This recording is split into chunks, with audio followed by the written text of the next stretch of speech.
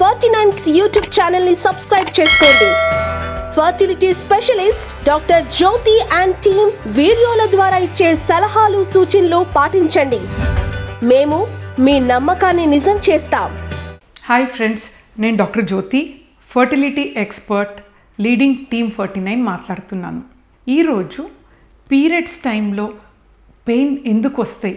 కొందరికి ఎక్కువగా వస్తాయి కొందరికి చాలా తక్కువగా వస్తాయి. కొందరికి అసలే రాదు. సో ఎక్కువ పెయిన్ వచ్చే వాళ్ళు చాలా బాధపడతారు.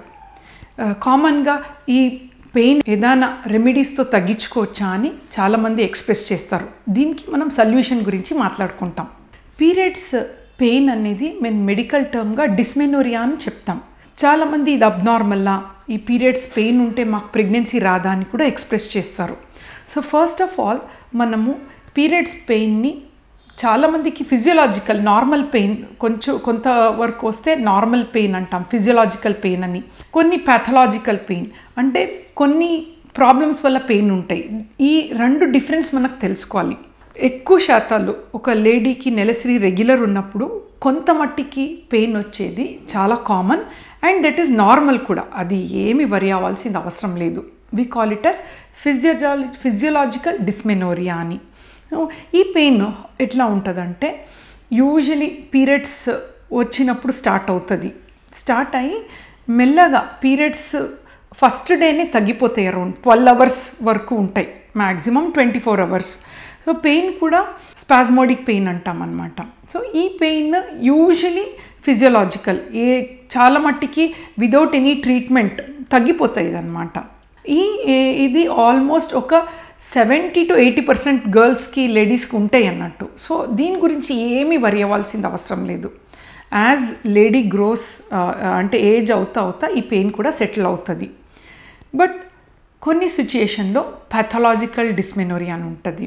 ఈ పెయిన్ ఇట్లా హౌ ఇట్ కమ్స్ అంటే పీరియడ్స్ వచ్చే ముందే త్రీ ఫోర్ డేస్ ముందే వాళ్ళకి తెలుస్తుంది అనమాట ఏదో లోవర్ అబ్డామినల్లో అంటే పొద్ది కడుపులో చాలా హెవీ హెవీగా ఉండటము.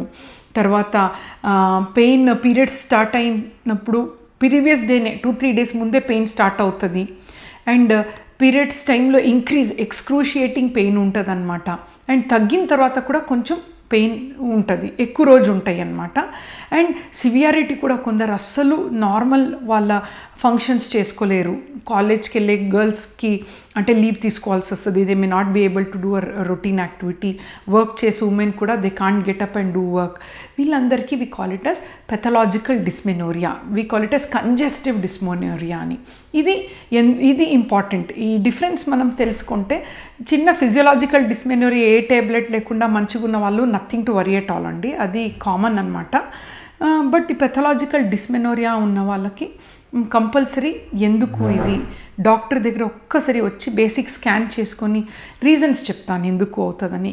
ఎక్కువ శాతం ఈ పెయిన్ అనేది పెల్విక్ ఇన్ఫ్లమేటరీ డిజార్డర్. ఏదైనా ఇన్ఫెక్షన్ ఉందనుకోండి గర్భాశయంలో కామన్ అనమాట ఈ పెయిన్తో పాటు వైట్ డిశ్చార్జ్ కానీ ఈ అంటే నార్మల్ వైట్ డిశ్చార్జ్ కాకుండా కొందరికి ఎక్కువ ఉంటాయి వైట్ డిశ్చార్జ్. ఇవన్నీ అసోసియేట్ ఉంటే we call it as pelvic inflammatory disorder దీనికి కూడా ట్రీట్మెంట్ ఉంటాయి అన్నమాట ఇది వన్ రీజన్ ఇంకొక రీజన్ ఎండోమెట్రియాసిస్ అని. ఇది ఈ ఈ సిచ్యుయేషన్లో ఏమవుతుంది అంటే అండాశయం నుంచి ఎగ్స్ ఏదైతే విడుదల అవుతుందో అది అక్కడ ఎండోమెట్రియాసిస్ ఉన్నప్పుడు because of that collection of blood pain ఎక్కువ ఉంటాయి అన్నమాట సో ఇది ఎండోమెట్రియాసిస్ ఇంకొక సిచ్యుయేషన్ ఏంటంటే అడినోమయోసిస్. గర్భాశయం మజిల్లోనే ఈ ఎండోమెట్రియాసిస్ స్పాట్ ఉంటే ఇది కూడా బ్లీడ్ అవుతుంది. సో ఈ అడినోమయోసిస్ ఇవన్నీ కొంచెం ఎక్స్క్రూషియేటింగ్ ప్రాబ్లం ఉంటుంది. చాలా లేడీస్ వస్తారు పాపం వాళ్ళకి. అసలు నడవ నడవటం కూడా ఇబ్బంది ఉంటుంది.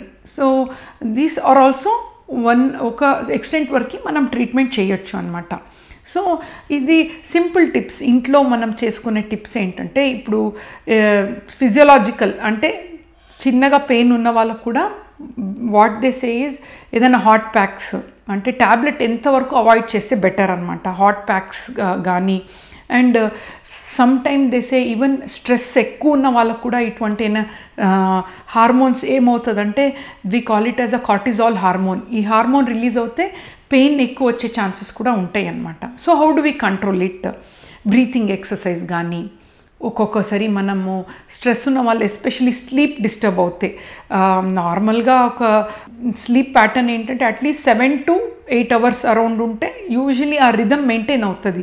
సో ఎక్కువ స్లీప్ డిస్టర్బెన్స్ ఉన్నప్పుడు ఈ స్ట్రెస్ లెవెల్ ఉన్నప్పుడు వాళ్ళ లైఫ్ స్టైల్ చేంజెస్ చేసుకోవాలి అన్నట్టు.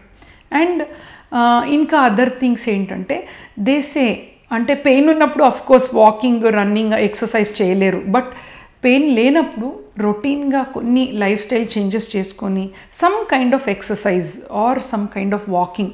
ఈ దీనివల్ల హార్మోన్స్ ఎండార్ఫిన్స్ అని రిలీజ్ అవుతుంది. This is mood elevating hormones science has told ఈ ఈ హార్మోన్స్ వల్ల ఆల్ కైండ్ ఆఫ్ స్ట్రెస్ కానీ ఈవెన్ పీరియడ్స్ పెయిన్ కానీ తగ్గే ఛాన్సెస్ ఉంటాయి అన్నమాట సో అండ్ కొందరికి ఎంత చెప్ చేస్తే కూడా పాపం సహజంగా తగ్గదు.